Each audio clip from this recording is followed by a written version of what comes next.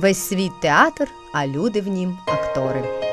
Але справжнє театральне закулісся, як і телевізійне, завжди залишається прихованим від глядачів. Актор це людина, яка приміряє на себе безліч образів. А проте тільки одиниці знають про головну роль в його житті. Сьогодні у програмі Вечір добрий ми помандруємо за куліссям артиста драми Рудольфа Дзуринця. Починаємо з Богу.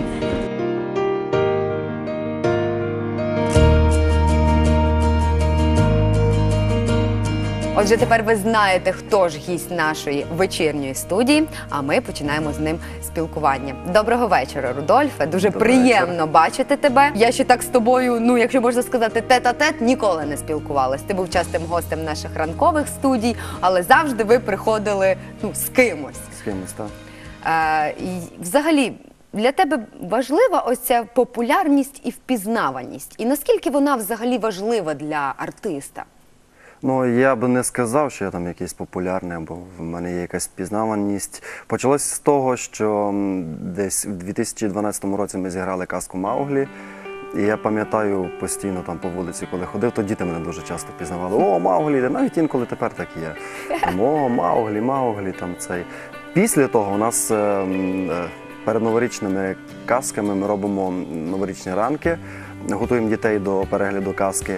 Я там був в ролі Гаррі Поттера. Ну і після того, о, Гаррі Поттер, о, Гаррі Поттер. А зараз, ну, якби такої популярності нема, просто роблю свою роботу і стараюся її робити чесно і правильно. Чому, чому саме актор? Чому саме акторство? Чому ти вибрав для себе саме такий шлях? І я не знаю, склалося все дуже взагалі несподівано. Я закінчив школу, переїхав до Ужгорода, пішов на будівництво, робив там підсобником, допомагав. І мій товариш Максим, який зараз проживає в Америці, каже: слухай, каже, ти ж там раніше виступав на сцені, там співав, там щось пробував, якісь мініатюри робити. Іди спробуйся в театр наш. Я кажу, та ну який театр? Каже, ти що? Та ні, просто прийди, спробуй там. Я прийшов, спробував і взяли мене на посаду артиста драми допоміжного складу. Я пробував вивчати цю професію, ну, бо я був ще без освіти. От. Потім пішов вже вчитися і воно мене затягнуло. Тобто твоє навчання це був вже такий свідомий крок. Ти вже Так, знав, куди так, ти так, рухаєшся. так. Спочатку я хотів бути юристом. Мгм. Я просто підробляв е, підсобником, ну, там трошки підзаробляв для себе. Але вже як спробував піти в театр, я, вона настільки ця професія затягує, що це просто не передати словами. Якими були оті перші тижні, перші місяці в театрі? Як ти себе там почував? І яке було до тебе ставлення колег? Та я знаю, я прийшов перед відпусткою. Ага, всі Мене взяли і всі пішли в відпустку. Всі Я такі вже були кажу, розслаблені. Клас, мене взяли на роботу. Типу, нікого немає. Я ходив до ем, нашого головного режисера Анатолія Химича Філіпова. Е, під час відпустки він мені пояснив, що таке театр, які тут правила є, існують, е, що треба буде робити. Ну і потім я прийшов, знайомство з колегами завжди воно відбувається дуже дивно. Хтось тебе сприймає, хтось не сприймає. От, е, але потихеньку почав втягуватися. Якраз ставили виставу додому Людмили Розумовської, саме Анатолій Єхимович ставив, і взяв мене тоді вже відразу на роль. Тобто я ще взагалі без досвіду почав пробувати там. Але в мене був великий плюс. е, Я вмію робити сальто, на руках ходити, там фляки кидав. І йому це дуже подобалось. Він почав це використовувати. І отак я потихеньку, потихеньку почав вивчати цю професію актора. Дивився на наших майстрів з-за куліс, вчився, щось там крав у них так для себе, для, як для актора. І так потихеньку, потихеньку, з роками, вже 12 років в театрі. І... Взагалі, наскільки ти така адаптивна людина? Тобі легко адаптуватися десь в середовищі, можливо, інколи несприятливому або місцями десь, можливо, навіть агресивному до тебе. Кажу так, тому що сама працюю в творчому середовищі і знаю, що люди творчі, ну вони, ну вони такі непередбачувані і неочікувані. В них багато думок, і ще більше слів. Внутрішні і... монологи. Так, і інколи вони мають таку можливість, ну не те, що можливість, а інколи десь лізуть зі своїми якимись рецензіями, з оцінками чогось. Як ти ну, воно є, і воно мені дуже подобається. Подобається. Ці рецензії, критика. Я дуже люблю це дивитися, спостерігати за цим і читати. Але адаптація, дивлячись в якому плані. Ну, я актор, Але я відвічі вже звільнявся з нашого театру. Ну, в силу того, що по фінансам були проблеми. Е, Працював на заправці старшим оператором, адаптувався буквально за два тижні. Після того я пішов е, продавати парфуми по Ужгороду. Так ходив, ото що є такі от хлопці, що роздають там ці всякі абонементи. Але останнє моє звільнення це було десь три роки тому. Я пішов в Словакію на заробітки офіціантом. І це був мій самий такий важкий, е, якби така важка адаптація. Це було дуже важко. Е, В 6 ранку прокидатися, в 12 закінчувати ввечері, і ти вже маєш прасувати сорочку, е, штани, тому що тобі зранку знову вставати на роботу. І це було настільки важко, як актор, як творчій людині, адаптуватися в таких несприйнятних для себе умовах. Але тим не менш. Коли ти хочеш, то я думаю, що немає. Тобі не образливо, що в нашій державі актор мусить шукати собі заробітку, тому що, е, на жаль, його професія не може його забезпечити належним таким рівнем, який би він хотів. Ну, образливо, тому що ми багато працюємо насправді. І, на жаль, наш театр єдиний театр, мабуть, єдиний театр в Україні, який має найменші зарплати. І тому у нас немає іншого інших варіантів. Ми змушені шукати якийсь підробіток. Ось я зараз працюю на трьох роботах і стараюся то якось по сумісництву розкладати собі години так, аби і там, і там, і там встигнути, ніде не запізнитися, тому що я дуже пунктуальний. От, але ну, я сподіваюся, найближчим часом наша держава якось розгляне варіанти для підвищення зарплат для акторів. Тобто, все-таки далі по життю ти себе бачиш саме в цій професії. Лише актор. А супутні просто для того вони просто допомагають тобі в матеріальному Так, так, ну тому що сім'я, двоє дітей, ще й песик. Треба якось всіх прокормити. Так, дійсно, я з тобою повністю згідна, що ну на жаль, такі реалії в нас життя, що воно заставляє нас трошечки рухатися десь більше, навіть можливо, ніж ми би хотіли. Але ну напевно, молодим людям в цьому плані якось легше. Вже старшому Так, поколінню так. трошки трошки важче це Ну, робити. м, треба сказати, що я також преуспів, як то кажуть. Я маю дружину, двох чудових діток, мені всього-навсього 28, і мені є ще куди рухатись. І тому я так стараюся якнай, най, най, якнайшвидше набирати ці обороти і досягти найкращого в житті, найвищого, щоб потім мої діти були в захваті від- свого батька. Тобто цілі в тебе є. Є. Чіткі, ти їх бачиш Так, і ти їх так, усвідомлюєш. Так. Е, мала сцена. Здається, цього року малій сцені виповнюється три роки. Е, Ти такий е, ну хедлайнер для мене малої сцени, тому що тебе найчастіше я бачу там як актора, задіяного в різних виставах. Яке значення для тебе має мала сцена? І поясни мені, будь ласка, в чому для тебе різниця грати на малій сцені і на великій? Ну, яка різниця? Ну, саме мала сцена вона для мене дуже близька, тому що це там вперше в мене була головна роль. Така, що реально мені режисер довірив е, в монологи і тет на тет з глядачем говорити. Чому я чому мала сцена пов'язана зі мною? Тому що я сам взявся за реалізацію квитків. Я її е, продаю всі квитки, зв'язуюся з заводами нашими, привчаю глядача нашого Ужгородського до того, що в Ужгороді є театр, і Ужгород є театральним місцем містом. Різниця яка? Ну, по-перше, на великій сцені зовсім інший йде посил тексту, голосовий. Тобто ти маєш набагато гучніше говорити, в тебе більший простір, в тебе є масовка, якщо ти там десь е, захочеш схитрити, ти заховаєшся з якогось там, чи в тебе немає настрою, ти там десь, е, та ладно, постою. тут Від, ззаду». відлиняв, так, На малі- відбув Та, просто. на малій сцені цього нема, тому що це все відбувається на витягнутій руці. Глядач бачить, вони бачать твій е, піт, і вони бачать, як ти переживають, е, переживаєш, вони бачать твою гру, і там треба бути максимально щирим. Ну і на великій сцені також, звичайно. Але на великій сцені трошки є оцей е, Відстань. відстань оця є, і ти її відчуваєш, ти її бачиш, і зовсім трошки інша манера гри, ніж на малій сцені. А не лякає те, що глядач дійсно настільки близько до тебе, і їх багато, і їхні погляди всі прикуті до тебе. Чи не трапляється таке інколи, що слово просто застріє в горлі від переживання? Та чому не трапляється? Вчора таке трапилось. Ми грали виставу Краще залишайся мертвим.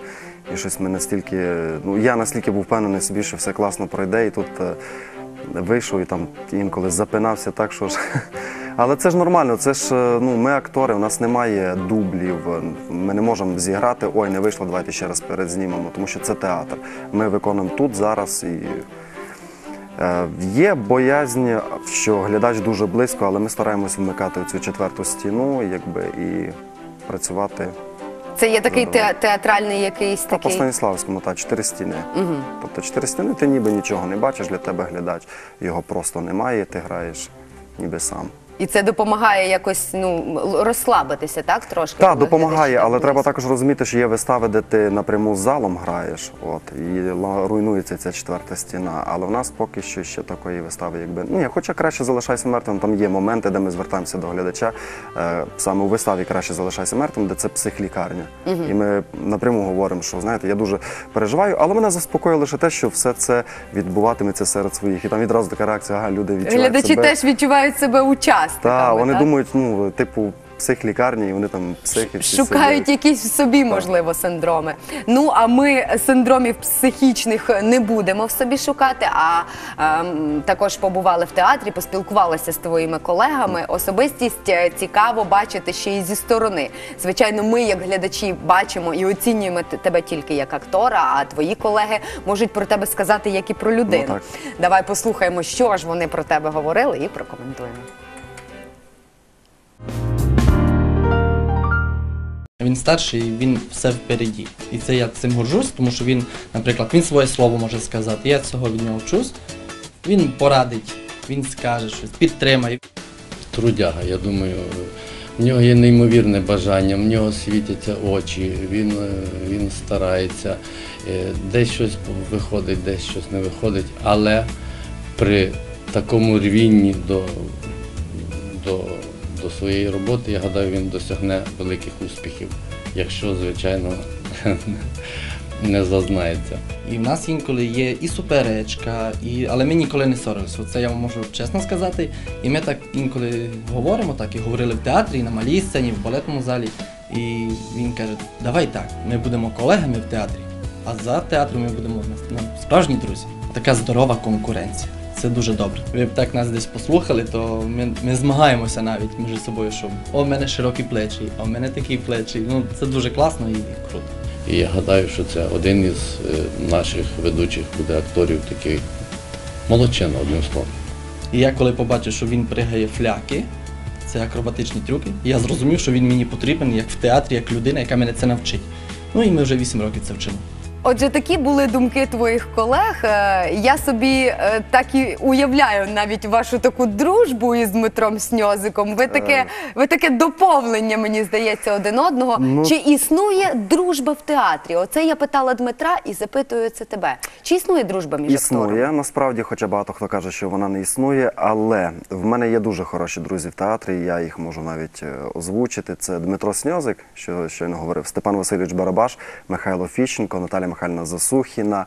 е, Микола Слов'янин, їх є небагато, але це саме ті друзі, на яких можна покластися. Саме, наприклад, Дмитро Сньозик, він мій е, Якби ми одно, ми з ним одного віку, у нас дуже багато спільних інтересів, спільних тем для розмов. Просто в театрі я з ним стараюся. Я йому він правду сказав. Я йому кажу, давай в театрі ми будемо колегами, не будемо говорити про життя, давай виконувати свою роботу. А ось там, може, там за бокалом пива чи ще десь, вже будемо дружбанами і в бані. Та й так і цікавіше, а то на роботі про все переговорять, а пізніше, коли йдуть провести разом час, вже й нема про що Просто на роботі, якби і немає часу про щось таке особисте говорити. Можливо, інколи є, але не, небагато. Тому ми і стараємося. Ти так. казав, що ти любиш, коли тобі висказують свої думки, критичні думки. Е, Коли це говорять друзі або хоча б люди, до яких ти маєш таке добре ставлення, це одне справа. А коли говорять люди, ну яких би ну які не є твоїми друзями, або ти так тісно з ними не спілкуєшся, як ти реагуєш на цю критику і чи потрібна вона тобі? Ай, вона мене дуже заводить насправді. Ем, був е, такий один випадок. е, Ми зіграли виставу пригоди бравого солдата Швейка. І Андрій Любка, письменник, написав був таку дуже категоричну критику про наш театр. Ну дуже так. е, так би мовити, дуже жорстко Ну, так описав. болісно він це дуже, зробив. ну настільки. Тобто він подивився одну виставу, по одній виставі він зробив просто такий висновок, що в кінці, я пам'ятаю, він там якось написав, що якщо ви е, проходитимете вулицями міста і побачите цю сіру споруду Савдепівську в центрі міста, знайте, це не театр, його тут просто не існує. Після чого це мене настільки завело, я почав йому писати. Я його запрошував на малу сцену. В нього там ні, ні, не виходило, ем, якось в нього часу не було, він постійно був у роз'їздах, але все ж таки я його якось вмовив, в нього знайшовся час. Він прийшов, подивився виставу Краще залишайся мертвим. Після чого він написав несподіванки пост, де він описав, що все ж таки театр він є. Він А в, тебе, а в тебе якось це переходить більше в агресію, чи просто в бажання довести людині, що це не так, Е, як Ні, вона не в агресію. Я просто хочу, щоб глядач і щоб Ужгород взагалі знав, що в Ужгороді є театр. І перед тим, як щось е, там аналізувати і щось критикувати, подивитися декілька вистав і вже з того всього робити якісь висновки. Просто Андрій Любка він потрапив на одну таку виставу, яка. Ну, можливо, не- не до кінця допрацьованою Та, можливо, не до кінця допрацьовано, можливо, не було часу, щоб її довершити. І тому він зробив такі відразу висновки, які дуже наших колег всі дуже після того. Якось дуже болісно це сприйняли. І я в тому числі, і я почав просто його на нього шукати, його контакти, знайти. Я знав, що він письменник, старався десь там через бібліотеку знайти його. і все Бачиш, приємно, знайшов. що ти обмежився не просто якимись коментарями на сторінці Фейсбук, так? Ти не написав Ні, йому, що ти там не правий, ні, ні, ні. А ти, ти його бачиш так дією, ти його переконав. Так, ну спочатку пробував це Михайло Фіщенко. Він е, писав, запрошував, Любка не міг. Ну потім е, е, Міша каже, та в мене вже немає часу там цей. І я взяв цю естафету, та ні, я доб'ю, каже, я все ж таки його запрошу. І насправді є в Ужгороді критики, які критикують, яким подобається, яким не подобається. І це класно. Це ми, коли читаємо ці відгуки, ми розуміємо, що нам є куди рухатись і працювати над І що театр помилками. все-таки живе, і в нього Так, є свій так, глядач. так. Якщо ми вже зачепили постать Михайла Фіщенка, то про тебе він теж нам сказав декілька О, слів. Давай іще продивимося наступний фрагмент і продовжимо наше спілкування.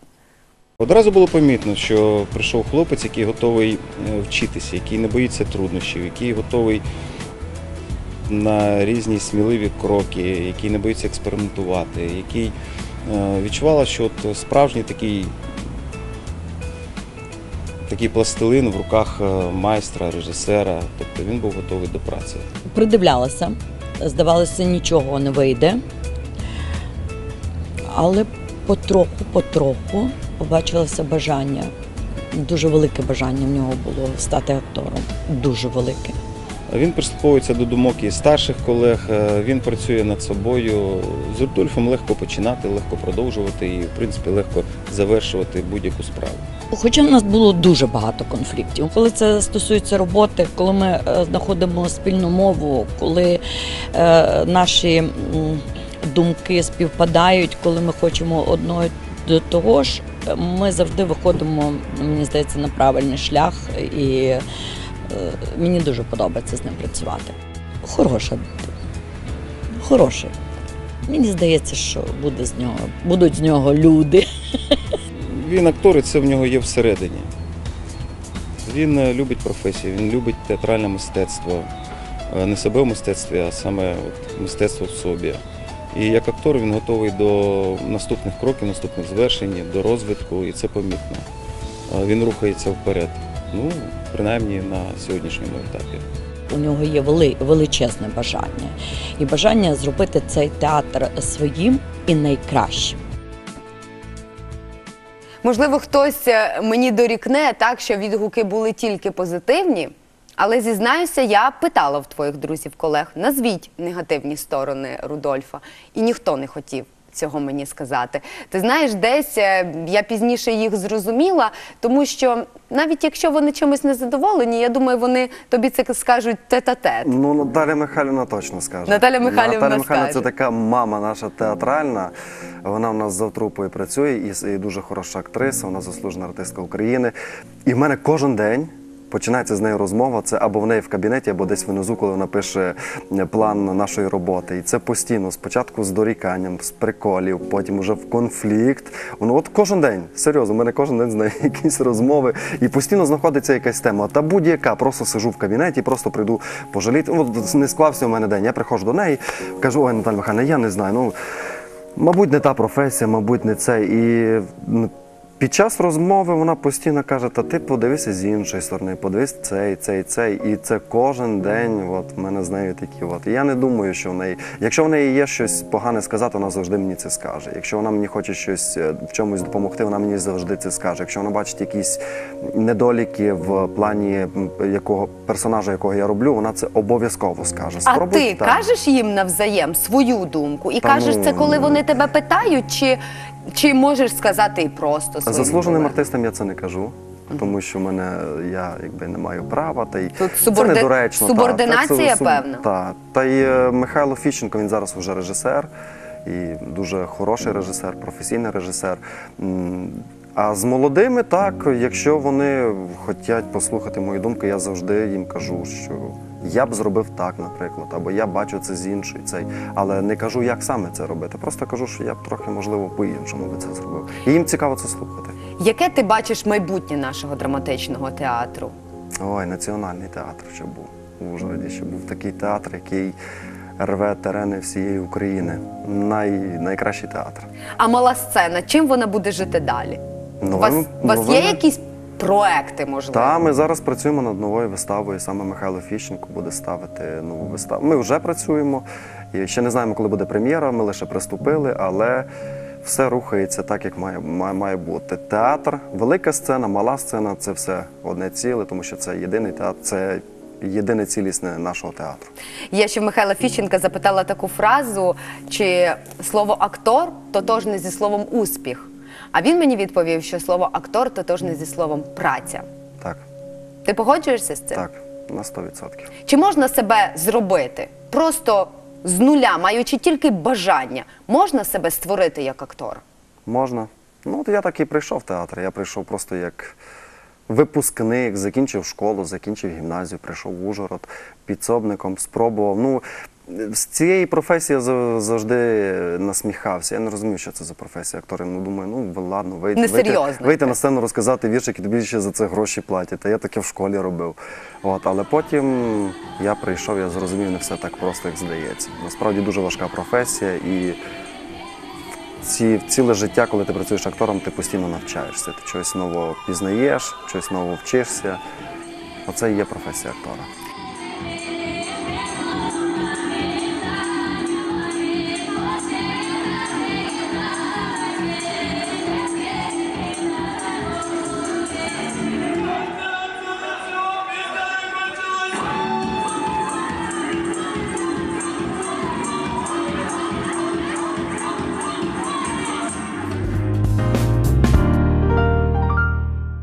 Нашій бесіді сьогодні я е, не хочу не ставити ніяких розділових знаків, окрім коми.